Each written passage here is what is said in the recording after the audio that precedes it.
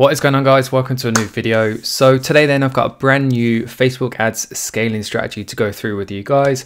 Um, I'm pretty excited about this one to be honest. Um, it's one I've developed myself. I've not seen anybody else talk about it. So I think you guys are going to enjoy it. But before we get into the video then, I just want to take a quick second just to say a massive thank you to everybody who has been supporting the channel recently. We're due to hit 3,000 subscribers in the next kind of three or four days, which is just absolutely crazy. And it's all thanks to you guys. So thank you very much. I really do appreciate it. And please do keep it coming. So that being said then guys, that's the topic. Thank you for tuning in and let's get straight into the video. So here we are then guys inside my ad account manager.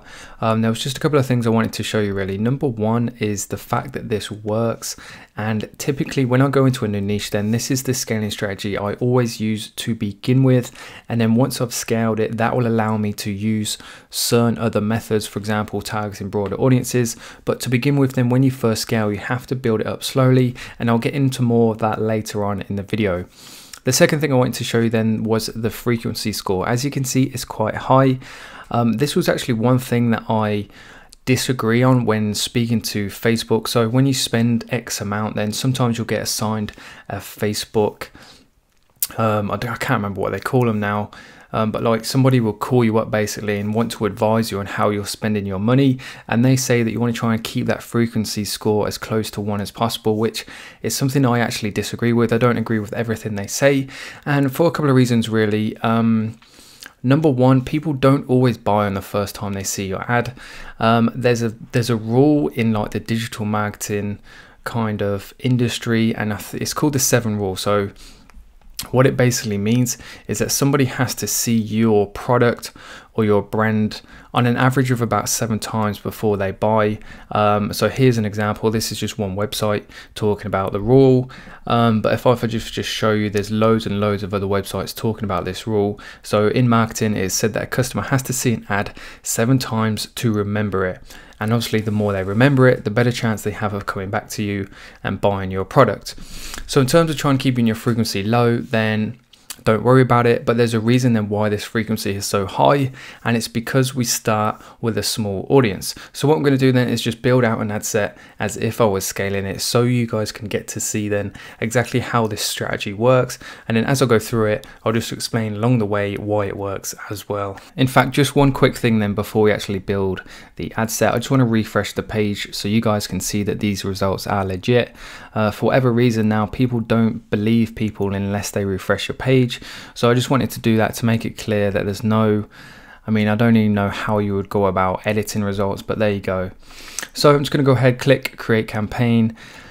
Um, I think I got halfway through our note. So we'll start from the very beginning. I'm going to go ahead and choose conversions. Obviously, make sure you can choose the name of your product to put in the campaign name so you know exactly what product you're advertising for that campaign and then I'm just going to run through the whole thing from top to bottom. So typically then I always ignore the ad set name to begin with because I don't know yet at this point what my targeting options are going to be. So what I tend to do is go through the whole ad set, then go back and then rename it to something that actually makes sense.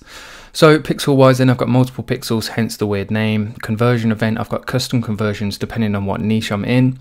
Uh, so since we've got the dog purchase conversion up, then I'll base this example then on if we were going into the dog niche.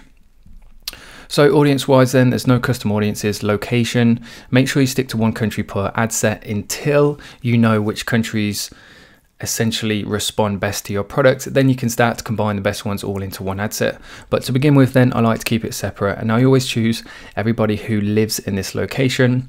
That way, I've had it before actually, people on holiday in the UK, but then they live in America or they live in Spain and they've always put their home address in. So it would be a Spanish address or a US address, and it can just be confusing sometimes. So I typically like to just make sure that it's people who live in the country that you're actually targeting. Moving on then to age and gender. Now, if you're going into a new niche, then you might not know who the best age range is or what your ideal gender is. So you can leave those as blank because the interests we're going to be targeting are small, then Leaving them as the default is no problem at all. Language, I always leave that blank. I very rarely put an actual language in there. And then detail targeting. So this is where essentially this whole Facebook scaling strategy is going to be based on. So I like to call it haven't really got a name for it to be honest. It's but basically what we're going to be doing is just adding more and more interests as we see more and more purchases. So to begin with, we want to make sure this is unticked. That way, we're only going to be targeting people within the interest that we actually select. So what I would typically do then is I would have one ad set for one particular category of interests, another ad set for another particular category, and so on. So one particular category, I like to make sure the categories are based around people who are already spending money within that that niche. So we're in the dog niche then. We've got to think about who are the people who own dogs and already spending, essentially what are they spending their money on within the dog niche. So it could be certain dog foods, that could be one ad set. It could be magazines, that could be another ad set. It could be pages related to say activities that dog owners do so it could be interests around dog training or dog walking um, i know for a fact that a good interest that i use all the time is countryside dog walks I know it's pretty small as well. Probably about 40,000 people. There we go. I'm just going to go down and change the budget as well. Typically, I'll always start on 10, uh, 10 pounds per day. And the reason for that being then is if you're watching this video, then you've probably heard of the $5 ad set strategy. Um, it's a very common one that a lot of people use. So if everybody's spending $5 and we're spending double what they're spending, then Facebook is a bidding system, so if we've got double the budget, then essentially we should get more favorable results. So anyway, back to the targeting. So as you can see then, Countryside Dog Walks is a very small interest. We've got a potential reach of 41,000 people, which is absolutely no problems with that at all to begin with. Like I said, if you're going into a new niche, then you're going to have zero pixel data, which means Facebook isn't going to have a clue who your ideal customer is. So essentially we have to do the targeting first. And because it's an interest then that's related to activities that only dog owners will be interested in, then we've got a good chance of targeting only people who actually own dogs and therefore they'll be more likely to buy our product. Because it's such a small audience, you can see that it's going to be a select few amount of people and therefore we've got a good chance of having a higher hit rate um, and, and essentially a higher conversion rate, which is always going to be a good thing. Now, 41,000 people, if you think about how many of those will convert, there's not a lot of room in there to make a lot of money. But it, what you have to do is you kind of have to match up this potential reach against how much data or how matured your pixel is. So essentially what I mean by that then is that the newer your pixel is, the smaller the audience size you have to start with. So what I would do then is I would test this audience for £10 per day. And if I start to see purchases coming through, once my frequency score say starts to creep up, so starts to hit two, maybe even three, I would come back into this very same ad set and I would add an additional interest into this and that's going to obviously increase our potential reach. And we can we can go a bit bigger because there's already data going through this ad set. Facebook is now starting to learn who our ideal customers are and therefore even if we've got a bigger audience it'll be able to pick out those people better than it would have done at the beginning. So for example then if I just add another interest here to bring up that potential reach. So at this point then we've got a few purchases coming through. We know the interest is good. To scale up then what we want to do is increase this potential reach by adding more interests into here. So there's a couple of things you can do then. If you're not sure about what interest to add, if you simply click on suggestions, Facebook is going to give you some good ones. Um, typically, I find the ones that Facebook give you are quite large. So in this case, they wouldn't really work. So for example, then if we choose dog walking, that's going to bump us straight up to 3.9 million people, which is just going too big too quickly. So what I like to do then is if I just copy and paste this, head over to audience insights, and if you've never seen this tool before then get to know it. It's a really handy tool to use. So make sure you're choosing the same country you're targeting in your ad set. Um, and then just stick your interest in here.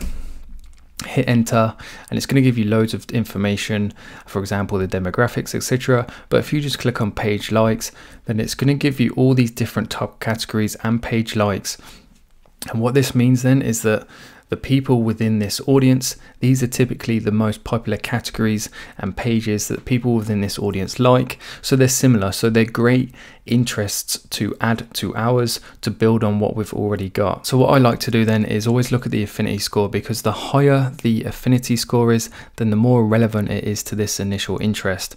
So obviously number one is going to be the same interest because it's exactly the same. So what I'm going to do is just take this number two dog friendly go back to our ads manager and we'll put it in here. And sizes quarter of a million people. So if we hit enter then that should oh, if we hit enter it should increase our potential reach quite nicely. So it's 95,000 people, so it's doubled the amount of people. So it's still quite a significant increase, but that I'm, I'm pretty comfortable with that. I'll be happy with that. So at this point now, we've got another 40 plus thousand people that we can go out and target. And like I said, because our pixel is starting to mature now, then it will be better at finding those people who are going to purchase in this small it's a bigger audience but it's still quite a smaller audience. And essentially what we do then is every time we see sales building and building and building then we keep increasing this potential reach because what I'm trying to say then is that if we started off with an audience that was 95,000 people with a completely fresh pixel, then Facebook hasn't got as good a chance as finding the purchasers within 95,000 people as it has 41,000 people because 41,000 people is a smaller audience, if that makes sense. Without any previous data, it's not going to know who our ideal customers are. So you need to be as specific as possible. And then once the purchases start to come through, then we can start to increase this potential reach. So hopefully that's starting to make sense and hopefully I've explained it well enough. Um, if I haven't, I do apologize. Please feel free to just spam me with as many questions as you want. Leave them down below in the comment section and I do get back to every single person. So just to finish off the ad set then for the video, um, placement wise, I always stick just to the main ones. So Facebook newsfeed. Um, sometimes I combine Instagram with Facebook, but if it's a new niche, then I'll separate them out just so I can control how much budget I'm spending on each one, and therefore I can test each one evenly if that makes sense. If I combine them in the one into one, then obviously Facebook is it's going to give the majority of the budget to the one which is performing best or which one is performing best in Facebook's eyes. So you don't necessarily get an even test. So I typically then leave all of those blank and we'll just test one place at a time. Moving down all mobile devices, um, budget then, I always stick to £10 daily budget per ad set when starting off in a new niche. Conversions, we want seven day clicks and we're going to go for the lowest cost as well. So that being said then, in fact, one more thing then just to finish off, we're going to go back to the top and we're tagged in the UK. We're going for 18 plus, going for male and female. And our first audience then was 41k. So what that does then is every time I create an ad set, I know exactly who we're tagged in, the size of the audience, and therefore when I'm looking over things, so I know for a fact then that this ad set is 41,000 people. So once I start to see some purchases come through, maybe three or four, then that tells me it's ready to increase the potential audience size to up to something bigger. And then once I do, I always simply just edit the name to what the total audience size is. And then therefore I can kind of gauge like how many purchases work against the potential audience reach. So for example, then when you've tried this strategy a few times, you'll be flicking through your ad sets and you'll see, say an audience size that's 50,000 people and you've had 10 purchases. And when your knowledge starts to increase, you will marry those two numbers together and you think, right, 50,000 audience size, 10 purchases, that's now ready to take to that next level and scale up. And then it might be, say, 200,000 people and you've had, say, 100 purchases and you say, right, that's now ready to scale up, if that makes sense. So I'm going to wrap it up there because I think I've pretty much covered everything. Hopefully I've made myself clear. Um, if you're still watching the video, hopefully you guys enjoyed it. If you did, please do leave a like on the video. Let me know in the comment section what you want me to cover next, any particular topic, any questions, whatever it is. Um, and again, thank you very much for supporting the channel. We're going to be hitting 3,000 subscribers very, very soon. Um, and I'm going to be doing some sort of giveaway in every single video from there on. So if you want to be part of that, make sure you subscribe um, and I'll see you all in the next one.